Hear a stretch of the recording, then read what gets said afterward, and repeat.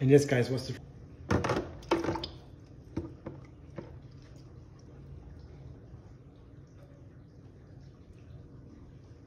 And yes, guys, what's the free stuff with the iPhone 16 Pro Max and the Samsung Galaxy S24 Ultra. Guys, thank you for watching. See you in the next questions. Bye bye.